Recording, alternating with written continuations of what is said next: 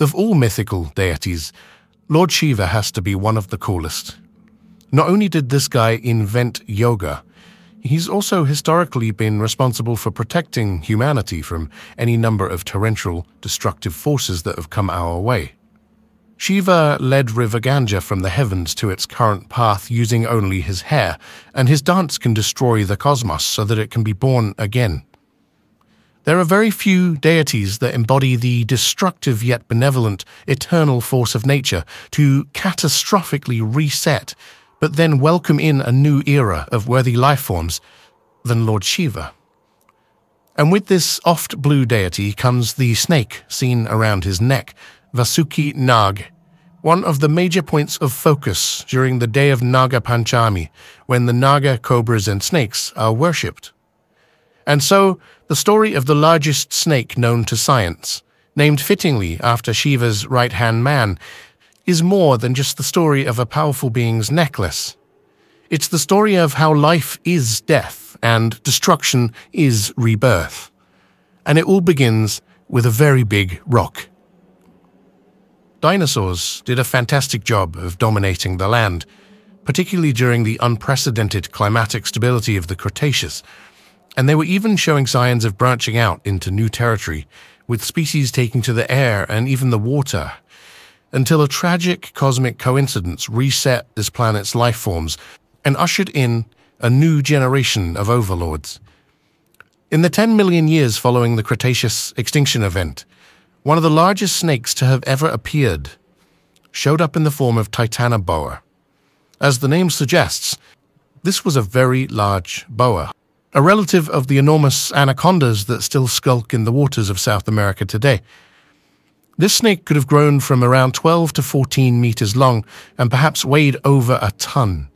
As you probably know, it was the reigning defending largest snake known to science from 2009 to 2024 an impressive 15 years at the top of the rankings, but it had taken the spot off a very different animal. The previous record holder, the 11 meter Gigantophis garstini, had been in this spot since 1901, and this is very apt for what was a member of the longest lasting snake family there ever was. The Madtsoiidae family of snakes shows up in the fossil record around the same time as Spinosaurus in the late Cretaceous. This is a family that evolved on the supercontinent Gondwana, and they rode about on the tectonic plates for around 100 million years, coming to occupy South America, Africa, India, Australia, and Europe. Gigantophis garstini was perhaps on the upper end of the size spectrum for this family, but Madtsoiids began their approach much smaller, with species ranging only up to about a meter long, and they were likely useful food for pterosaurs and carnivorous dinosaurs of the time. But when Lord Shiva dances, things get shuffled around, and 66 million years ago he was really shaking it. When the dust settled, a new generation of constrictors arose to compete with the Madtsoiids, the boas. These snakes are still incredibly successful today, and they're found over much of the world, particularly in South America, where the largest of the lot is the green anaconda at around 8.5 meters long and well over 200 kilos in weight. This is the heaviest extant snake, and one of the longest, but it's outshone in this department by the reticulated python, whose record stands at just under 10 meters. Pythons, like boas, are more modern varieties of snakes. Both use the tried and tested Madtsoiid constriction approach to killing, but unlike Gigantophis and their family members, boas and pythons have the updated jaw models, wider, more flexible, and better for swallowing food whole. While pythons and boas look remarkably alike, they share an ancestor as far back as 70 million years ago. And the two lions exhibit some of the most conspicuous examples of convergent evolution that it's possible to gawk at. Just looking at a comparison between the emerald tree boa and the green tree python is enough to make you question how an omnipotent creator could possibly have run out of ideas and just copy pasted the same design in a different place. But back to the Madtsoiids. While boas put forth a worthy contender in Titanoboa in the Paleocene, this snake's reign wasn't all that long. Ten million years after the Cretaceous ended, Shiva was at it again, this time with rapid onset global warming, an increase in up to 9 degrees Celsius in just 20,000 years. For whatever unknown and complicated ecological reason, Titanoboa was out and Gigantophis garstini was in. It swam about around 40 million years ago in a warm, shallow sea that no longer exists, one that once covered part of the Sahara during the Eocene. While this was indeed a large snake, at the same time, on the other side of the planet, India was still floating about as a lonely island, having not yet collided with mainland Asia to form the Himalayas. And on this enormous island, an even larger snake, possibly bigger than Titanoboa itself, was evolving. Lord Shiva is commonly known as the Blue-Throated One. This nickname comes from back in Shiva's wilder days when he and the other gods were trying to solve some demonic issues by bringing up the elixir of life from the ocean. But to get it out, they needed to churn the ocean, and the head of the Nagas at the time, a half cobra, half human called Vasuki, volunteered to be the churning implement.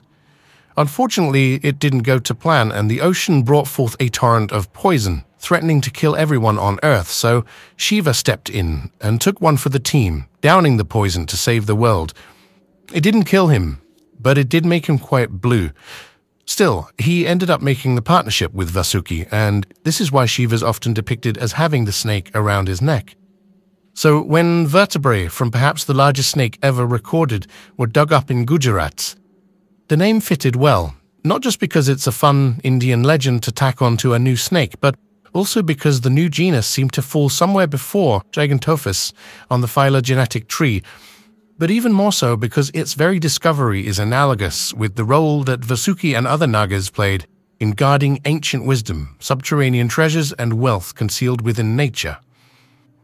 Vasuki indicus was originally discovered in 2005, and the specimen was comprised of 27 vertebrae. Interestingly, there are also 27 main beads in some of the Buddhist mala necklaces and 27 lunar mansions in Hindu astrology. Coincidence? Yes, they're completely unrelated. But don't let that take away from how awesome this discovery was, and how there could have been no better name for this snake than Vasuki indicus, the namesake of the powerful Naga leader that rests around the neck of the destroyer, guarding buried secrets and facilitating extinction, rebirth, recycling, and new life.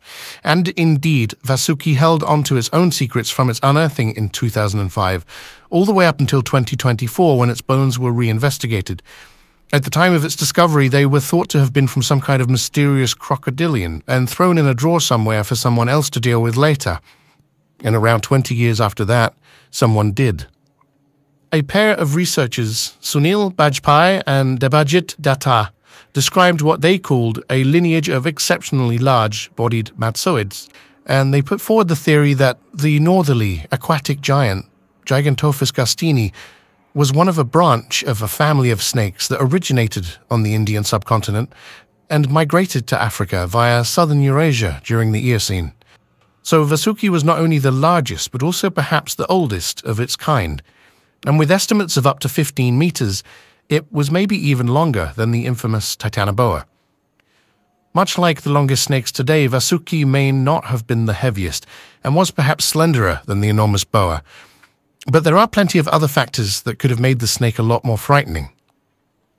For one, recent advancements in the understanding of Titanoboa suggest that this was primarily a fish eater. The mouth, densely packed with multiple needle-like teeth, was almost perfect for such a diet. Conversely, while there's no skull to draw upon from Vasuki indicus, its known relatives point to this giant having a far less specialized skull shape, a narrower head, yet robust teeth that resemble those of the larger-mouthed snakes. If this implies a monster snake with a hankering for large prey, but a head too small to swallow it, things get a little weird. Modern snakes have a kinetic skull, which allows them to jaw walk across their food, essentially dragging their bodies over their meals like a tight pair of terrible jeans over a swollen leg. But Madtsoiids didn't have this, so how did Vasuki eat? There are a few options. One is that it simply ate smaller food, which for a snake this huge would have meant eating more frequently, but this is possible if it was a sit-and-wait ambush predator. we may be able to look to the moray eel for another option, though it almost doesn't bear thinking about. So before we do, we'd just like to say thanks for watching. And if you're enjoying the video, please hit the subscribe button to see the next one and give us a like to help us boost it up the rankings. Now, contrary to popular belief, constrictors don't strangle or suffocate their prey exactly. Instead, constriction compresses the body so much that the blood cannot pass through the vessels at all, and the brain is quickly starved of oxygen while the heart stalls under pressure. Constriction pressure can also force blood into the head, causing brain damage. And a snake the size of Vasuki would have been a terrifyingly powerful squeezer. It also would have found itself surrounded by the weird mammalian fauna that evolved on the insular Indian island while it was separated from the mainland. And if moray eels are anything to draw upon, Vasuki may have fed by tying itself in knots and ripping chunks out of its victims. A tear and rip feeding strategy would go hand in hand with the plentiful grip and hold teeth and the impressive ability to squeeze. Vasuki was likely the largest predator of its kind in its range, so it wouldn't have had to worry about anything stealing its kill. In Hindu tradition, the legend of Vasuki represents many applicable things here. He's linked to eternity and cosmic balance. And if we can cast a wider net to serpent worship in general, we can include the interrelatedness of different systems. So could it be that Vasuki indicus, this imposing terrestrial threat, played a role in chasing a small group of artiodactyls off the Indian island and back into the ocean? Around 350 million years after their ancestors fled the ocean onto the land to avoid the monsters in the sea, a small group of terrestrial vertebrates got homesick and evolved into the cetaceans, moving back into the water. And it's thought that they did this in India. Perhaps several million years of sharing their island with the world's scariest snake was enough to persuade them and under the guidance of Lord Shiva, the death brought on by this snake would facilitate a new vertebrate presence in the ocean, a continuation of life from one realm into another. The two starkly different biomes interconnected by the serpent Vasuki. We aren't likely to ever know for sure, and with only a single fossil of Vasuki indicus currently on record, the Naga Lord still guards plenty of secrets hidden in the earth. What we do know is the Madtsoiids went extinct sometime around the late Pleistocene, long after India crashed into Asia, and late enough that they had apparently spread all over the place by then. They appear to have gradually faded away, with most recent fossils coming from Australia from around 50,000 years ago. And it's from many of these fossils that a recognition of the similarity between the Madtsoiid and the varanid teeth is being studied. Varanids are monitor lizards, and with so much confusion and scant evidence around the origin of these two branches, perhaps it's up to Vasuki to one day grant us insights into the buried secrets of this connection. Meanwhile, in the wake of the Madtsoiid extinction, and as a consequence of Lord Shiva's most recent reshuffling at the end of the Pleistocene, pythons have come to dominate many of the old Madtsoiid niches. Today, the largest snake contest is an analogue of the Titanoboa Vasuki standoff, with an exceptionally long snake pitted against an outrageously heavy one. But as history has shown continually, it's only a matter of time until Shiva gets bored, the deck is reshuffled, and new contenders emerge, both from the fossils of the past and the ecosystems of the future. As times change, heroes come and go, and nature just like history, continuously reinvents itself. That's all for this video. Thanks for watching.